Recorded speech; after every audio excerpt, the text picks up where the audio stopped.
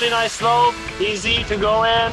Uh, almost same as winter. You go on a first run and it was really, uh, as we know, and it all well. You're able to carve well. Really fun to do.